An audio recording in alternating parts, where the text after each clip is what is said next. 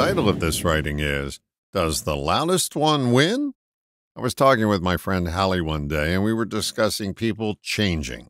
I said, My friend Paul says people don't change. I also told her I agreed with that, but I do believe they can evolve. Then she squarely gobsmacked me with this You either evolve or you get louder. Louder in this context means we defend our position that change isn't necessary. Evolving to someplace new takes some presence to assess where we currently are. Most people arguing loudly for their limitations won't make that assessment. If we do step in the direction of change, our chances for evolvement increase. I'm sure you know someone who spends their entire life defending themselves. Perhaps it's you. That's the telltale sign that you're stuck. When your story abounds, you won't step on any new grounds. Telling and retelling of our story about why we are the way we are is just being a loudmouth. The louder you are lessens your chances for moving forward.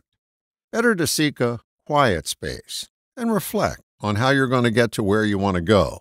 That's evolving.